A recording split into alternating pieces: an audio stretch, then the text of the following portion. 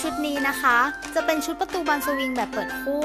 มีการใส่มือจับสีดำด้านเพื่อความสวยงาม มาพร้อมหลังคากันศาสตร์แบบดัดโค้ง ที่มีรูปแบบการติดตั้งแบบพิเศษ เฉพาะของทาง JR และที่สำคัญยังไม่เหมือนใครอีกด้วยนะคะ จึงทำให้เกิดความสวยงามเพิ่มขึ้นไปอีกระดับ และชุดนี้จะเป็นชุดกระจกปิดตายแบบดัดโค้ง ที่มาพร้อมเส้นแบ่งตารางที่แบ่งได้อย่างลงตัวและสวยงามมากๆเลยค่ะ